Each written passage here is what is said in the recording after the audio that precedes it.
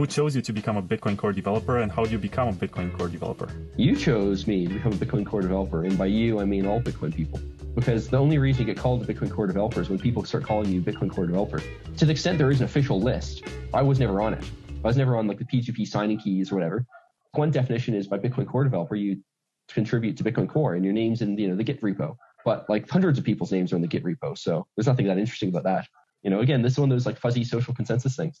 Yeah, by that standard, I guess I'm also a Bitcoin Core developer of sorts Yeah, because yeah. I, I fixed something on the website.